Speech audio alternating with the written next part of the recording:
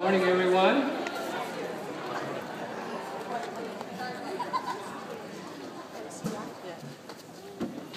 Uh, I want to make a special welcome back to my sister, who's talking right to this, Jackie. We're welcoming you back. uh, uh, Jackie has uh, been sick and was on back for about 56 days. And in that time, that's when our mom died. And it's been a long haul, but you're back. Yay! I'd like to, what- my name's Mark Tidd. Uh, I'm her brother and, uh, and co-pastor here at Highlands. I'd like to welcome you with the words that we uh, say to each other every week. Married, divorced, or single here, it's one family that mingles here. Conservative or liberal here, we've all got to give a little here. Big or small here, there's room for us all here. Doubt or believe here, we all can receive here. Gay or straight here, there's no he here. Woman or man here, everyone can here. Whatever your race here, for all of us, grace here. So I got a call this morning from uh, a new friend who said, um, well, I know it's an open and inclusive, uh, uh, you know, a welcoming church, but I'm in my workout clothes, so can I still come? No. And I'll have, yeah, I'll be happy to let you know. I said, we have standards, Not really high, but we do have. so, which includes workout clothes. So, well, you know, sometimes um, scripture yanks my heart into rapt attention by just one verse. Just it's like a sucker punch. It comes along and just knocks me off my feet. Just the power of one verse. But sometimes what moves me, stirs, gets my attention is an accumulation of, uh, of verses that where a theme emerges, and I, I start to go, oh, okay. And sometimes, uh, and often the case is those verses have they've been in there a long time, and then all of a sudden there's like a certain filter, and they start coming out a lot more often. I'll give you an example, like one of those verses that uh, a single verse that just hit me um, like a sucker punch was at a point in time where um, at, at another church, uh, church in Boulder where I'd been pastoring, and I was just exhausted, and I didn't know how to manage all the needs of various groups of people and, and who were in conflict, and I'd internalized the whole thing, and I, I was just so worn out. I didn't know how I could continue uh, uh, to be a pastor. So my question, uh, the question for myself was, how was it that Jesus was the servant to all and a doormat to no one? Because you always hear about pastors burning out, and you never hear about Jesus burning out. Um, so I really was in, in earnest search, like Jesus, how did you how did you do that? And I was reading along, and, and John chapter ten, it it's been there the whole time, but it was like, bam! Uh, it was when Jesus said, "No one takes my life from me. I have power to lay it down and power to take it up." So he was saying, even though he's headed towards the cross, it's his decision, his choice to lay down his life. It's not the runaway crowd, and Jesus is going, oh, guys don't understand. You know?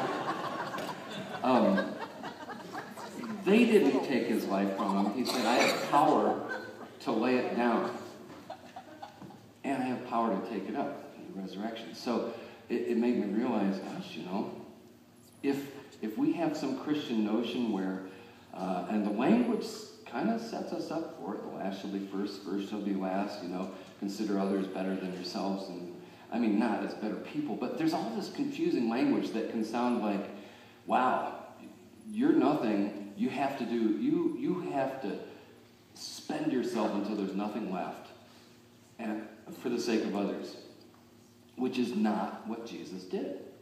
He said, I have power to lay it down, and I still have power left to take it back. So that was the one verse that was just clipped me. Uh, but other times, it's not a single verse. It's uh, the weight, the accumulation of numerous verses um, kind of making a dog pile on me. And uh, actually, do you guys, does everybody here, I don't know if that's an age appropriate, do, do you know what a dog pile is? I'm not, I'm not talking about something you put in a plastic bag. I'm, I'm talking, because otherwise, because I'm going to use that phrase elsewhere, and, and I want to make sure it's like if somebody jumps on the ball and, and everybody piles on top, that's a dog pile. It's the cumulative weight. So sometimes there are, are sections of scripture where the verses start dogpiling and go, oh, okay, okay, I'm starting to get it. So one of one of the dogpile, an example of that was back. I don't even remember when it was, but there was the uh, the bracelets and stuff with the WWJD. What would Jesus do? And um, I may have grown to this uh, about this to you once before, but I, I, I that didn't set well, and everybody in the church I was at kept giving me bracelets, so I'd catch on and maybe start acting like Jesus, and um, you know. Uh, but I, I couldn't do it. And uh, it's not because I don't want to follow Christ, but because the premise bothered me. I thought, what would Jesus do? Like, I'm supposed to predict what the most unpredictable person in the world has done? And you read the scripture and go, you can't ever see it coming. What Jesus does is always uh, such a revelation. You don't see it coming. I mean, if you read the first part of a verse and you go, what would Jesus do? Like in this situation, what would Jesus do? What he does is never what you think he'd do. I thought, how am I supposed to guess at that? So the question that was behind that, you know, I, I, was feeling so unspiritual and, and, and not leading my church, and until I drilled down and realized the question that was bugging me was not what would Jesus do, but how did Jesus know what to do? How did Jesus know what to do? But that turned out to be HDJKWTD. and, and then it's a belt, you know, not a bracelet. So um, that didn't catch on. Um, and so I started looking through the Gospel of John, and um, I'm wondering, really, how did you know what to do?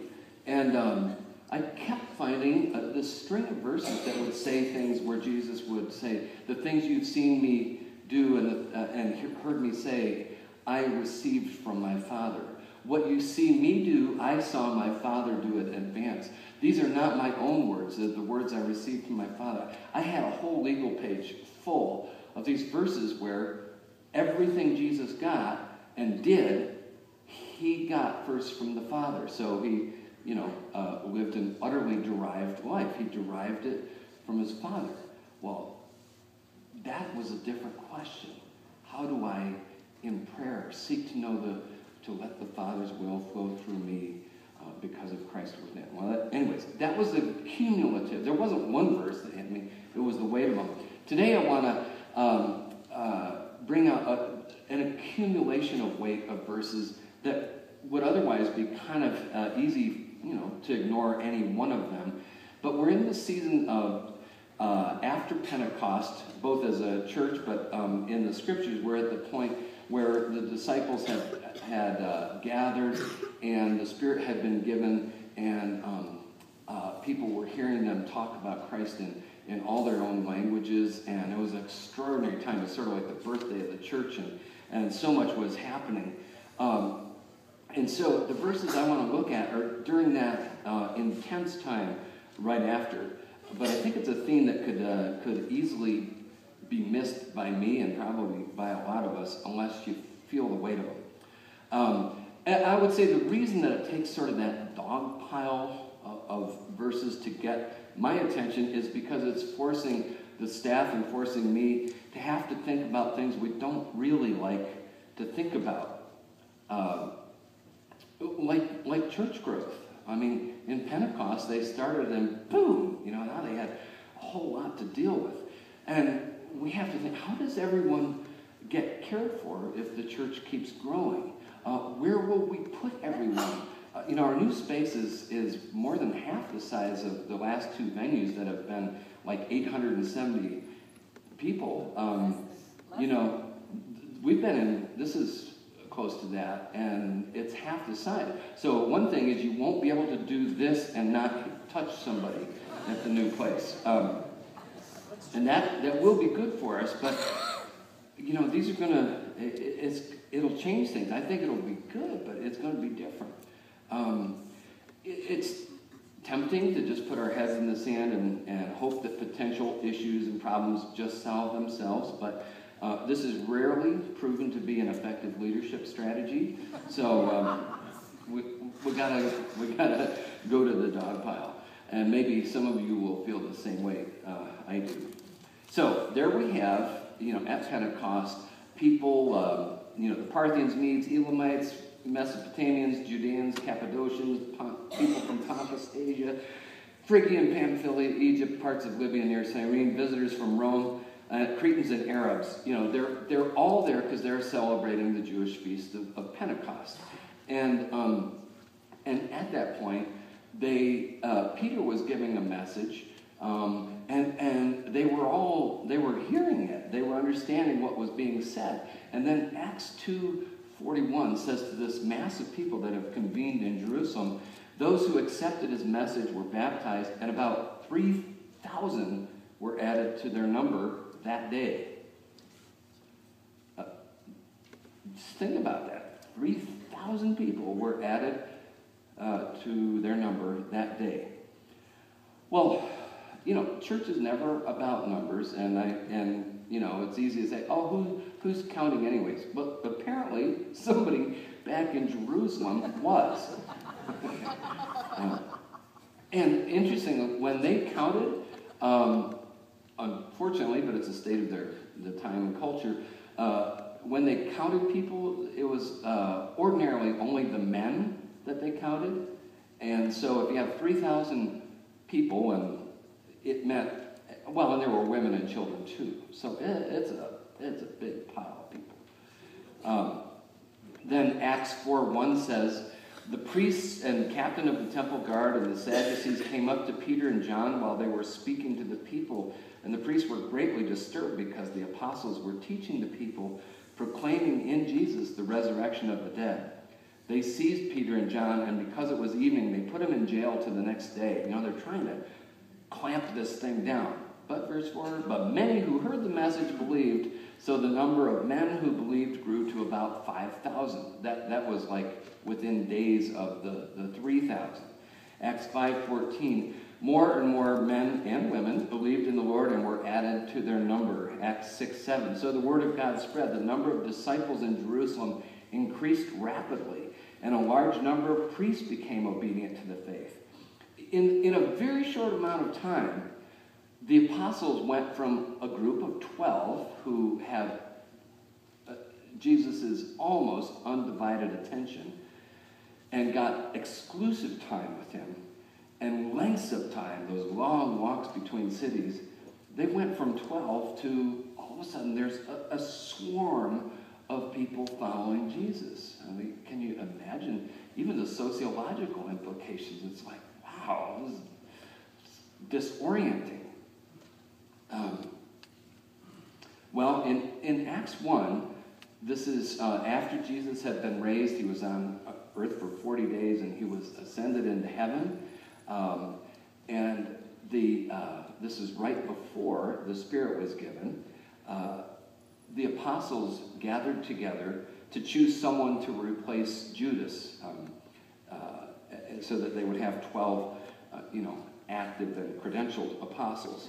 Um, so they, they, that's what they were gathered there for. But in verse 15, it's kind of an interesting note. It says, In those days, Peter stood up among the believers because there were the 12, but there were others that were interested. He stood up among the believers, a group numbering 120. So they're still counting. But this is before this big phenomenon. There's 120. Uh, two observations. The first is that after three years of Jesus teaching and preaching and healing and casting out demons and, and uh, just being fabulous, um, after doing that for three years, 50 days later, after his death uh, and resurrection, you know, and now that, that was no parlor trick either. I mean, this, it's a huge phenomenon. But 50 days after, there were only 120 people who believed Jesus was the Son of God. After all that he'd done you know, there were about 120 people who said, okay, I'm in. You know, and when you're going, I am the savior of the world, or 120, whichever plays out, you know, 120 people. Now, though that's not a lot, it's 10 times more than the number of apostles. So they went from being, you know, like a small group at Cheers where everybody knows your name, uh, to a gathering of 120 people. And though that seems like a small number, it's large enough that a lot of people didn't know each other's name or couldn't remember or stopped asking. Now, that sounds kind of familiar, doesn't it? You know, uh, there's a certain point where the, the memory starts going. Um, well, then, 50 days after the resurrection, the Holy Spirit was given to them, and that 120 exploded into a multitude of thousands in, in a number of weeks. And then it just kept going. You know, that's exciting. And now the apostles are going, what he is not just the Lord of 12 or 120. Um, those people that had gathered in Jerusalem were now going back to their different countries, and this thing was spreading like wildfire.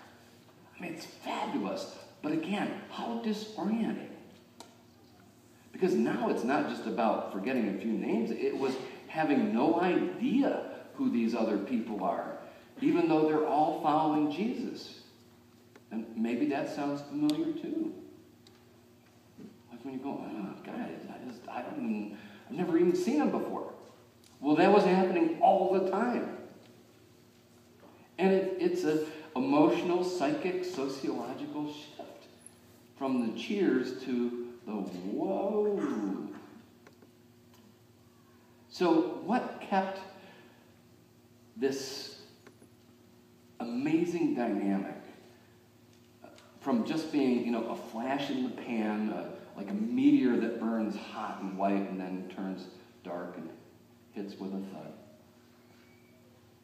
What kept us from being a faith fad that just wore out? Well, I think we get a good clue uh, in Acts 2.42 because there's not just, you know, gobs of people. There's something else happening at the same time. We looked at this last week. It's, it's just worth mining again.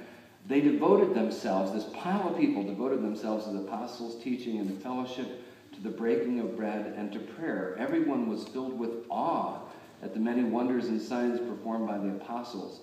All these believers were together and had everything in common. They sold property and possessions to give to anyone who had need. Every day they continued to meet together in the temple courts, and the temple courts were huge, so, I mean, you could have piles of people there.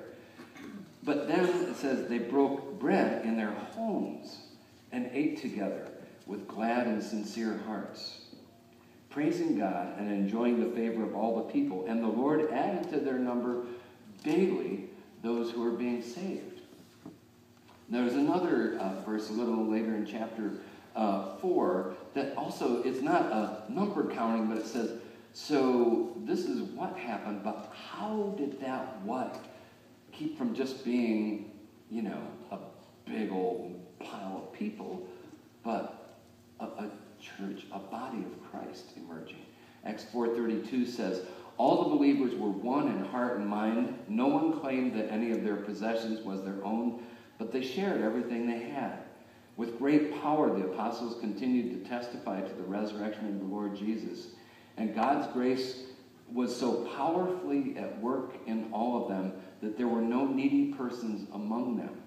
From time to time, those who owned land or houses sold them, brought the money from the sales, and put it at the apostles' feet, and it was distributed to anyone who had need. There, there wasn't uh, social services, there, there was no other safety net. They were living out the Three Musketeers' credo, you know? All for one and one for all. Is that the right order? Or is it one? All for one and one for all. Okay. Um, a group of us made a pilgrimage this last Friday night from, uh, we started at the Oriental Theater where um, Highlands church when we were still connected to Pathways. Had our, uh, we met for six months up there, and then we walked down to uh, the place at 32nd and Lowell, and Jonathan Stalls led us, and Rachel Hulteen coordinated the whole thing. And um, uh, there were many tears at 32nd Lowell because there's, if you haven't been by, there's a big hole where there used to be the, the church where we um, worship. So it, it's pretty impactful. But then we walked over here to North High and we finished over at the Holiday. And there, there's so many emotions and sentiments, but the, the clear feeling is God is leading. There's a leading from God. My, uh, my first takeaway from this dog pile of verses where, you know, daily uh, numbers were added to the midst, you know, 3,000, 5,000, and how are they adjusted to that thing? My first takeaway from the dog pile is this. Before we have a single service in our new space, we need to declare that while uh, we will be thrilled to arrive in our new home at the holiday, we will not have arrived because the journey is not over. Can we agree to that? Mm-hmm. We will not have arrived because the journey isn't over. It is in the nature of God to continue leading us. God is not static, always dynamic. It's in the nature of God to continue leading us. And it's the will of God that all should know the love of God in Christ. So we need to decide right now if we will continue to follow, or if when we move in our new location we've been waiting for so long, so psyched, if we enter it with sort of an unspoken attitude of tick tock, the game is locked and no one else can play. God's not in that. Uh, God will never willfully consign himself to a group that says this much and no more. I don't want anybody else to, to get the good news. I can't predict uh, what will happen at our new place, but it is the nature of living things to grow. So it's very likely that more and more people, um, we're still a young church, you know, but more people will be joining us there. And I can tell you for a fact that it only seats 405, which is a little less than half what we have here. Uh, Hawk was with me on Wednesday night when we put the last chair down. There are 405 seats. That's it. Do we tell number 406 that there's no more room? Or will we feel the, the weight of the dog pile and be Pentecostal people who follow the Spirit's lead to be creative, to be unselfish, uh, and to find ways to, to, for others to share what we love. It, it, that does mean we have to anticipate, well, we'll probably have to do more than one service. Um, that's not, that's good, makes more room. We'll probably have a midweek service. That's good for people who are gone on the weekends and, and, and all sorts of things. We'll, we'll have to be open to how to best use the space. Um, we'll have to develop leaders who uh, can start other churches in other neighborhoods in Denver that, that aren't a little franchise, but they're but they carry the Highlands ethos and they can be in relationship with that neighborhood and with the people around there. We just got to be creative because what God's doing is a good thing. And I don't want to be the one to tell number 406, yeah, bummer. And you will feel that if number 406 is somebody you invited. Somebody from your family, somebody you work with. And there's no room at the end for them. You'll feel it. Acts 4.32 says, No one claimed that any of their possessions was their own, but they shared everything they had. I think that verse is about to take on more meaning for many of us. You know, we've all seen kids uh, at the playground fight over a ball, or you know, maybe it's as close as your home, and they're fighting over a stuffed animal, and and you know, around the world, it's in different languages, but the tone of voice is the same thing. It's mine. And they pull it. Mine. And then, the other kid laughs and says, mine. Mine. That's really ugly. These little kids can be really ugly sometimes. Um, you know, but so can adults. Um, because adults do the same thing with the same inside voice as a kid, but their outside voice is usually different when they're doing it. They try to sound reasonable why it should be theirs, litigate to make sure it is theirs. Um, so we need to keep asking ourselves is our own personal comfort the thing that we go, oh, I love it just like this? Um, is that more important than what God wants to share with many others? Those are. You know, I have to tell you, I'm already, the one that's already killing me right here is I don't know all of your names, and I've never been in a church where, um, uh, or been the, you know, I, at Pathways I didn't know everybody's names, but there, that was a really big church, that was two years, but the other churches I've pastored for a long time, I knew everybody's name. I, I knew everybody's story. It's just killing me that I don't know all of you by name. And I don't, so many of you, I don't know your story. I cherish it because I know it's really important, but I don't know it. And so there's a part of me that every week feels the tension, the discomfort, because I'm such, a, I just am such a people person that I love to know. I love to be in close relationship, not just proximate relationship. Another thing is, um, while I'm really good at remembering names, I don't know what you get in your hard drive, but it it's getting full. I'm I'm running out of room. Uh, ask my kids. I don't call them the right name sometimes. Uh, so I have that discomfort, and yet I have such joy to see whatever reason it is that brought you here, even if I haven't met you, don't know your name, or have forgotten it, I'm so happy you're here. That my sense of going, wow, this is this is this is way bigger than I, I I'm not really comfortable with this. My discomfort is not worth saying, yeah, could you just there's a lot of churches, go find one. Okay, so we're all going to have to, to, to find ways of saying, okay, God, um, you know, that, thank you uh, for being fruitful. Um,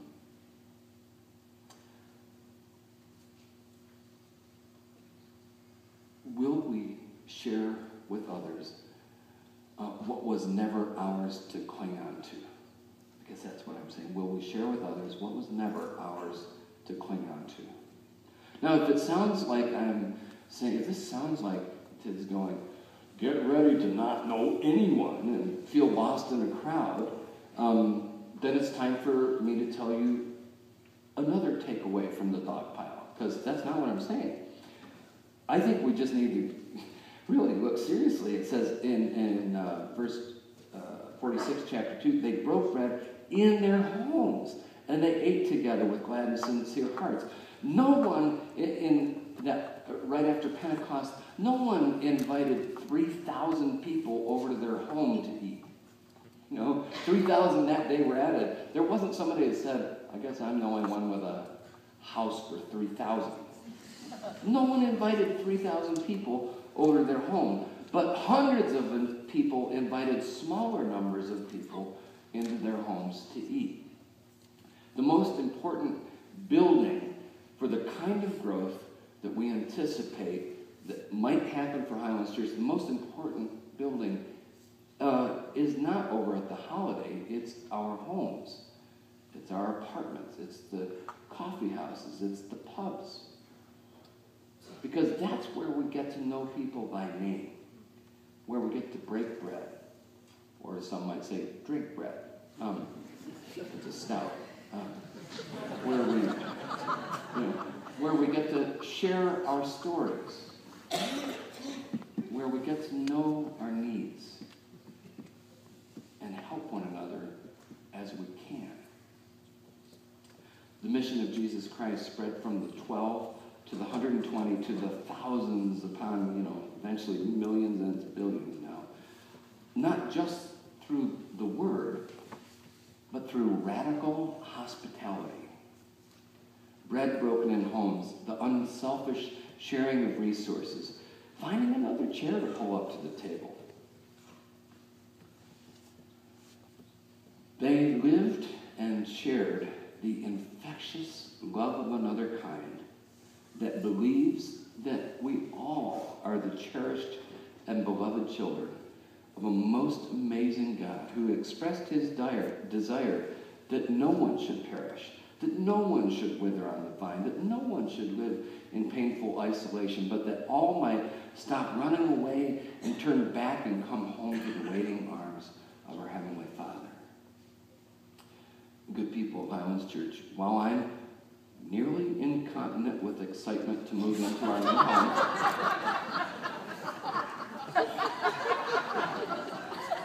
perhaps too visual.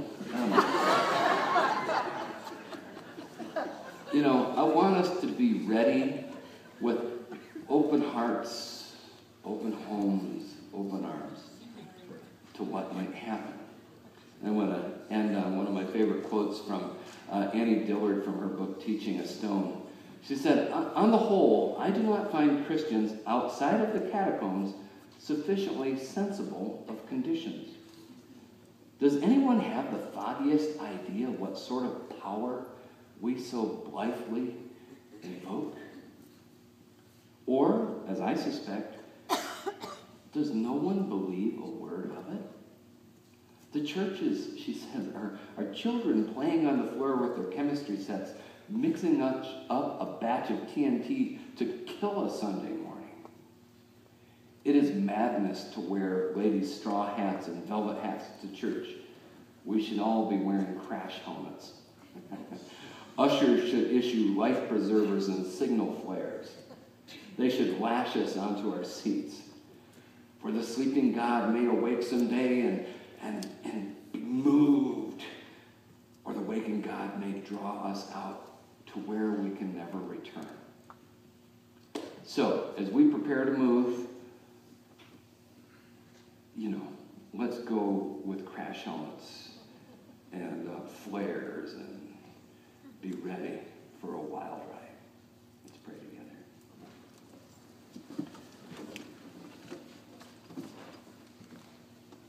Lord our God, thank you for your inexhaustible love. Holy Spirit, thank you for your infinite creativity. Heavenly Father, thank you that you're not willing that anyone should miss out on the best news there is in the world.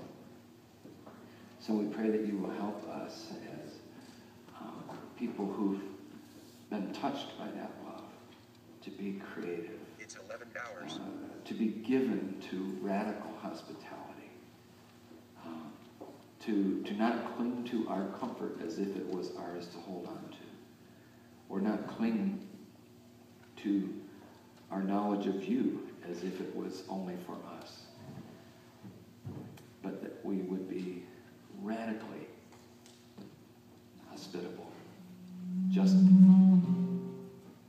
just as you have been radically hospitable toward us.